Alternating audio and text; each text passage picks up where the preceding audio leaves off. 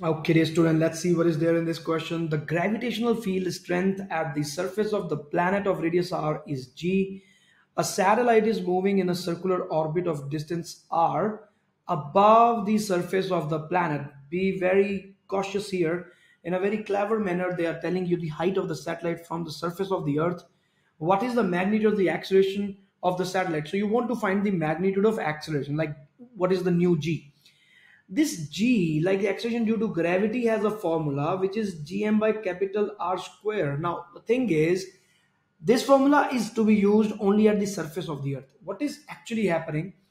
Like there is uh, this uh, capital mass planet and there is this body. Uh, we, we will find the force on it. So the force will be given by the product of masses and the square of the distance between them. Now, this is the force which is acting on it. Acceleration due to gravity is defined as the ratio of the force which is applied on the mass to the mass of the body. So this small m has to go to the other side. It will become F divided by m.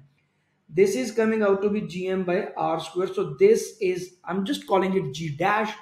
g dash is like the gravitation, like acceleration due to gravity at a distance small r from the center of the earth, which will be bigger than the radius, isn't it?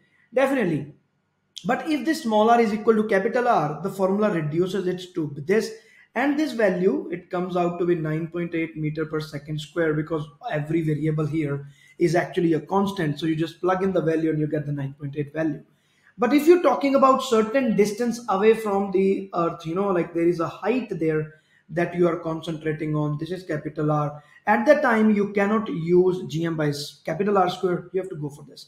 So having said that, we can clearly write it as gm divided by r plus h whole square. Now what is the height? It says that the height is also r. So we will substitute r here and it will become 2r square. So it is 1 by 4 gm divided by r square.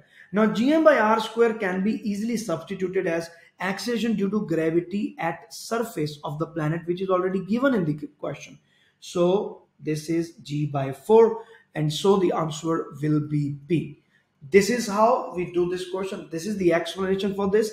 If there is any doubt you can please mention that in the comment section. This is professor varun. Thanks for watching. All the best. Bye. Please join the youtube channel if you want to watch the lecture series for gravitation all the best. Bye